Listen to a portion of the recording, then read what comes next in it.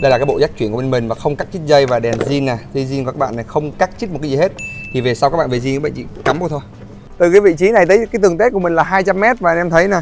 Ánh sáng của nó vẫn còn rất là ok mình pha lại nha. Đó anh em thấy không? Cái pha nó phủ hết một cái nhà luôn.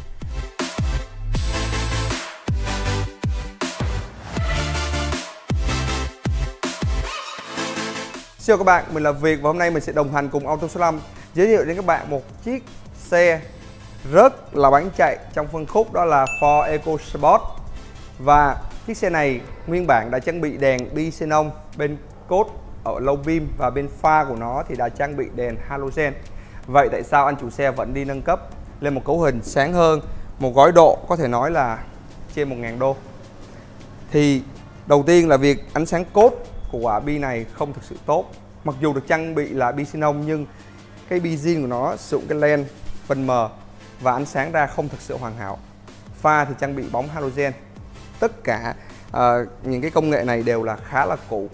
Và hôm nay mình sẽ giới thiệu các bạn một dòng siêu phẩm đó là bi laser T-Team S600 Pro và Titan Platinum Plus một cặp này với cấu hình này giá của nó tham khảo T-Team S600 Pro với mức giá 18 triệu và Titan Platinum phiên bản LED 9 triệu. Một combo này giá đâu đó lăn quanh rơi vào khoảng 27 triệu trên 1 ngàn đô. Và với cấu hình này thì anh chủ có những cái yêu cầu khá đặc biệt. Đầu tiên là việc nâng cấp 4 quả bi nhưng không được cắt chóa phá chóa của anh mà phải về riêng được. Thì bên mình đã trang bị một bộ bát chuyên dụng bộ bát mà bên mình đã làm rất là nhiều clip uh, với um, nhiều xe. Và anh Hùng Lâm cũng đã giới thiệu đến uh, các bạn rất nhiều bộ bát rồi. Ngoài bộ bát thì còn bộ dắt chuyển không cắt chích dây. Mình xin phép mở cabo cho bạn xem nhé các bạn nhìn nha đây. Đây là cái bộ dắt chuyển nè, đây. Đây là cái bộ dắt chuyển của xe. Cái dắt chuyển này nè, là giúp cho cái việc về zin rất là dễ dàng, các bạn thấy không? Đây là cái đầu dắt chuyển của nó nè. Đây, mình sẽ tháo ra cho anh em xem. Cái việc độ đẹp bây giờ nó dễ dàng rất nhiều. Đây. Đây là cái bộ dắt chuyển của bên mình và không cắt chích dây và đèn zin nè. Dây zin của các bạn này không cắt chích một cái gì hết. Thì về sau các bạn về zin các bạn chỉ cắm thôi. Còn bây giờ mình sẽ cắm nó thông qua một cái bộ chuyển này đây là một cái kiểu gọi là độ đèn là, gọi là cực kỳ văn minh nha các bạn. Độ đèn rất là văn minh, tất cả đều bấm dắt cốt hết. Rồi, khóa lại. Ok, các bạn thấy đúng không? Và cái đèn này sau khi nâng cấp xong, thì các bạn nhìn ở đây là cũng gần như zin luôn, không khác gì hết. Khi các bạn độ đèn, ngoài việc các bạn đi tham vấn cái mức giá cấu hình bi bao nhiêu tiền, thì các bạn nên tham khảo độ đèn như thế nào cho đúng, độ thế nào cho chuẩn và độ đèn có về zin được không thì rất nhiều người lại không để tâm tới vấn đề đó. Có thể bạn chọn được một cấu hình cực kỳ ngon, cực kỳ khủng, một cấu hình 30 triệu 50 triệu, nhưng khi các bạn không chọn được một cái giải pháp làm tốt nhất thì có thể làm hư chính cái đèn của các bạn. Và cái tiêu chuẩn làm đèn bây giờ là gì? Về zin được, độ bi phải có bát chuyên dụng và có bộ dắt chuyển cho xe. Và đây là cái thành quả mà mình và cùng và team đã trải qua. T-Team S600 Pro sau khi được nâng cấp vào cái vị trí là low beam của xe, thì giờ đây em nó vừa có cốt và vừa có pha. Kết hợp với cốt pha của quả Titan Platinum phiên bản LED. Đây là một combo mình đánh giá là cốt và pha đều rất rất là ổn.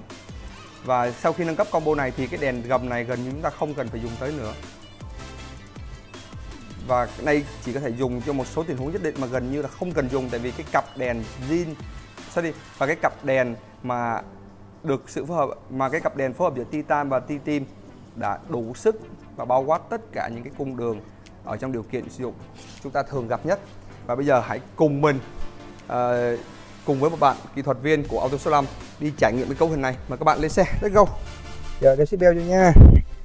Rồi ok bây giờ mình sẽ làm cái uh, thủ tục là test lại cái ánh sáng của em nó có đạt chuẩn có đủ sáng có chuẩn chỉ chưa trước khi giao cho khách. Đó giờ mình đi test đèn nha anh em lên uh, đồng hành cùng mình. Này lần đầu tiên được uh, ngồi EcoSport nâng cấp 4 bi đi trải nghiệm thử coi là ánh sáng như thế nào. Cái phim này dán chắc chắn phim rất nhiệt khá tối đúng không Tuấn? Phim này là phim gì ta? Không biết luôn đúng không? Chắc phim hàng tặng ha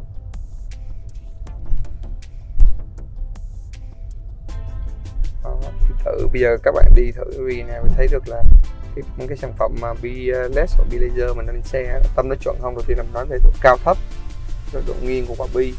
Sau đó là mình sẽ nói về cái tâm quả bi có chuẩn hay không.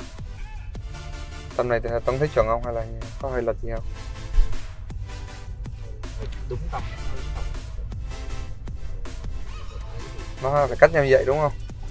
Tính đều khoảng cách hai quả bi nó phải cách nhau cỡ đó thì nó mới nó mới phê được. Em nhìn qua clip uh, ánh sáng như nào sang? Nhưng mà nhìn ở ngoài thì nó sáng hơn. Đúng rồi tại vì uh, xe này phân cách nhiệt rồi. Đeo vô xe này sáng cách nhiệt rồi thì chắc chắn là khi mà nhìn qua đây nó sẽ không cho được cái cảm giác mà nó thật lắm ok vẫn ổn. Các bạn uh, luôn chú ý là những cái clip ví dụ như cùng cái tầm nhìn của mình từ trong xe nhìn ra thì à, cái điện thoại nó sẽ sáng hơn ngoài thực tế khoảng 20 phần trăm. À, nhưng mà nếu các bạn đứng ở ngoài nó sẽ sáng hơn à, như vậy nữa. Tại vì qua cái tấm kính rồi thì mỗi chủ xe người ta có một cái sở thích riêng. Một cái gu thẩm mỹ họ có thể họ thích uh, kính hơi tối để riêng tư cho nó mát hơn hoặc là những người mắt yếu thì họ chọn cái kính nó hơi trong suốt. Như bác chủ đây là bác chủ sẽ chọn cái kính hơi tối một xíu. Ok mình sẽ qua vạn phút rồi mình test cho anh em xem được là cái uh, cung đường mình hay test thì quả bi này nó sẽ sáng như thế nào? Và tại sao mình lại đi phối một cái bộ bi LED Platinum kết hợp với một bộ bi laser của, của gia đình T-Team? Đó là T-Team S600 Pro. Hiện tại thì khu đất đang khá là căng coi như cả thành phố Hồ Chí Minh đều vậy các bạn chứ không phải là mình khu này. Thì cái bộ này à, cũng thấy là cái ánh sáng là nó thiên về thiên về trắng đúng không? Trắng thì nó sẽ cho ra cái ánh sáng rất là đẹp nhưng mà ngược lại thì cái độ bám đường của nó thì sẽ thua thằng vàng một xíu thôi tức là không phải quan niệm là cứ vàng là bám đường ví dụ các bạn lắp bộ bi mà ánh sáng diệt màu 3 ngàn hoặc vàng chanh lên, lên, lên đi trong điều kiện bình thường á thì gần như là đi không nổi luôn. Mà vàng mà vàng quá 4 ngàn thì cũng ổn. Vàng thì năm loanh quanh khoảng 5 ngàn 5 ngàn rưỡi. À, nhưng mà nó lại không được thời trang. À, giống như các bạn nhìn thấy những chiếc xe Mercedes BM hoặc là Porsche thì cái ánh sáng trắng của nó đều là khoảng từ 6 ngàn đến 6 ngàn rưỡi. Ánh sáng trắng thì sẽ có một cái nhược điểm là khi đi những điều kiện mưa này hoặc điều kiện sương mù nó sẽ không thực sự tối ưu. Nhưng với điều kiện à, chúng ta thời tiết mưa chỉ chiếm khoảng tầm 20% tới 30% độ lạnh trong cái điều kiện sử dụng bình thường của chúng ta. Thì việc lựa chọn một ánh sáng trắng hay là hơi vàng hoặc vàng thì là do là nhu cầu của mọi người. Ví dụ anh em thích một ánh sáng vàng à, chúng ta có thể lựa chọn ánh sáng của Xlight V30 Ultra. Đó là một cái quả bi mà cho ánh sáng vàng rất là đẹp với chip led của Osram vừa rồi mình thực hiện à, đáp pha và pha của laser mình cho anh em xem lại nha. Đó, khi nháy vậy pha led hoặc là laser thì đá rất là nhanh. Và cái độ xa các em thấy là cuối đường mấy trăm mét đó, đều thấy hết. Chúng ta khi lắp những bộ bi led hoặc bi laser thì chỉ nên pha với những điều kiện không có người đối diện hoặc là đường chuẩn bị vào cua. À, những khúc này chuẩn bị vào cua này mình nhá thử thôi. Đó, để coi cái tình hình thực tế của cái đường như thế nào. Sau đó chúng ta mình sẽ tiếp tục uh, di chuyển. Không nên bật pha khi có người đối diện hoặc là khó đó có lấy bình thường nhé. Đó, hoặc là cái khi mà có người đối diện là một nè rồi uh, giao giao thành phố là hai nè và có một số điều kiện không nên bật pha đó là một phép lịch sự. Nó giống như kiểu ở bên nước ngoài người ta không bật không đa không không ấn còi vậy đó và pha ở bên nước ngoài họ rất là hạn chế mình à, theo mình biết thì họ chỉ chủ yếu pha trên cao tốc thôi. Tức khi mà họ cần xin chuyện làng hay là gì đó thì họ sử dụng họ sử dụng pha thì mình sẽ phép quẹo qua cái khu vực tết đen nha. Khu đô thị Vạn Phúc hiện tại trong đang trong giãn cách. Họ sẽ không cho đi xe hơi qua cầu. Mình sẽ đi ở trong cái khu vực này. Đâm thẳng qua bên kia là khu vực có thể test được đèn rồi. À, mình có một cái khu vực test đèn rất là lý tưởng mà mình hôm nay sẽ chia sẻ với anh em à, khu vực này. Anh em mà có muốn test những cái đèn mà nó thực tế như thế nào anh em nên ghé qua đây. Em pha thử cái cuối đường đó, đó. qua cái phim nó cạn nhiều ha. Cạn khá là nhiều. Ở giờ quẹo trái nè. Giờ, giờ mình sẽ di chuyển qua khu test đèn. Thì đúng rồi giờ sau đó mình di chuyển ra ngoài. Đó. cho mọi người thấy được là cái độ rực của nó sau khi mà mình đứng giữa trong trong xe và ngoài trời nó khác nhau một trời một vực em mà chạy ship bên đây này thì mới lấy lái qua đây đó chạy tới này. Em phải vô sâu nữa. Một cái chân trắng như này đây đó ngay ngay ngay cái cái, cái điểm phú hòa đó. Tụi anh nhớ là ở đó trên dưới. Đây đây đây. Ngay đây luôn đây đây. Ở à, đây. Ngay đây luôn rồi đó. Ngay đây. Rồi để anh ra cho. Để anh coi cho. Ta sẽ để chắc ăn.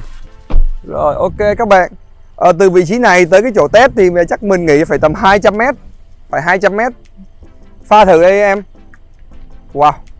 Anh em thấy rồi đúng không? Từ cái vị trí này tới cái tường test của mình là 200 mét và anh em thấy nè. Ánh sáng của nó vẫn còn rất là ok mình pha lại nha. Đó anh em thấy không?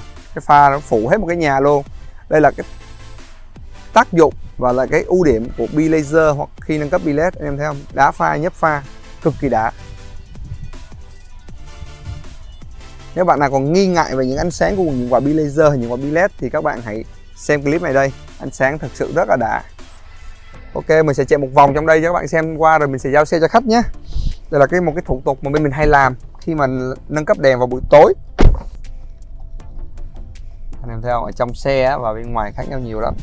Đây, trong xe này nó bị tối hơn đúng không? Còn đưa ra ngoài thực tế mà không qua cái à, uh, cách nhiệt nó sáng hơn rất là nhiều đây mình coi nè. Đó. À, pha thử nha. Em giữ luôn pha đừng nhấp nhấp coi khó chịu lắm đó. Các bạn thấy không? Trước mặt có một cái vật cản này nếu mà không có những bộ quy này mà chúng ta để độ 8 một 100 thì nhiều khi chúng ta cán qua nó luôn à. Đó, hoặc là chúng ta sẽ pha mà khi nào vào cua. Để, để hết người đó đó. Pha lại thôi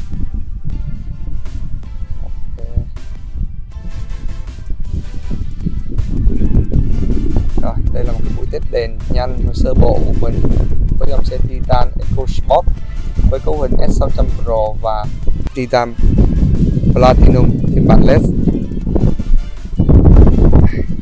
vậy thì nhiều bạn sẽ hỏi là nếu mà với một cái tầm tiền thấp hơn thì à, mình nên chọn cái à, giải pháp nào?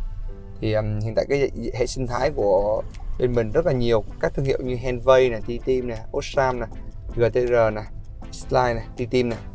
Thì ví dụ các bạn à, khi tới một cái gara các bạn nói là à, tôi muốn độ độ một bộ bi tôi muốn nâng cấp hai bộ bi. Và các bạn cho về cho việc um, cái số tiền các bạn có thể có. Ví dụ các bạn nói là à, tôi đi Eco Sport và tôi có khoảng 5, 10 hay 15 triệu gì đó hoặc là hai ba chục triệu. Thì mình sẽ ra một cấu hình như vậy. À, dựa trên cái tài chính các bạn nè sở thích nè. Các bạn thích ánh sáng như nào nè? Bạn thích nhiệt màu sao nè? Hoặc là đơn giản chỉ là à, tôi thích thương hiệu của GTR tôi thích thương hiệu của Titan. Rồi à, tôi lắp lên. Hoặc là bạn tôi đã đi những cái sản phẩm mà đi cái quả bi này rồi. À, việc tư vấn cho cho mình là ánh sáng của nó có phù hợp với cái xe mình không? Thì bên mình đội ngũ của AutoSlam sẽ đưa ra những cái giải pháp mà tiết kiệm nhất hoặc là xa xỉ nhất hoặc là luxury nhất đẳng cấp nhất cho cái xe của bạn đây mình pha thử nha đó. thấy không? Pha khi vào cuốn đã không? Rồi pha cái trước mặt của tòa nhà này đó, các bạn thấy chưa? Có nhiều bạn hay nói là pha laser thì chói. Pha laser thì chói, hoặc là gây nguy hiểm cho người khác, thực sự. Tất cả những quả bi laser hoặc là bi led xuất xưởng, người ta đều đã cân chỉnh ánh sáng rất là tối ưu rồi. Và ánh sáng này cam kết người đối diện sẽ không bị ảnh hưởng về mắt còn chuyện chói thì tất cả các copy đều chói, ngay cả những cái bóng đèn halogen. Ngay cả những cái bóng đèn halogen trên những chiếc xe máy của các bạn vẫn chói. Nên việc sử dụng ánh sáng như thế nào mới là điều quan trọng chứ không phải nằm ở việc lắp bi laser hay bi led. Còn về quan điểm của việc thì việc thấy rằng một quả bi laser bắt buộc pha phải khủng và mặt và tâm phải cực kỳ gom còn việc chúng ta sử dụng nó văn minh và đúng nơi đúng lúc đúng chỗ đó là điều rất là quan trọng và đây là cái bài test của mình về cái sản phẩm này các bạn muốn xem những cái bài test khác các bạn có thể like, share và subscribe cái kênh để bên mình đưa ra nhiều cái giải pháp mới hơn, tốt hơn để các bạn cũng như là nhiều cái dòng siêu phẩm à, sắp tới sẽ ra mắt trong thời gian tới. Xin cảm ơn các bạn và hẹn gặp lại.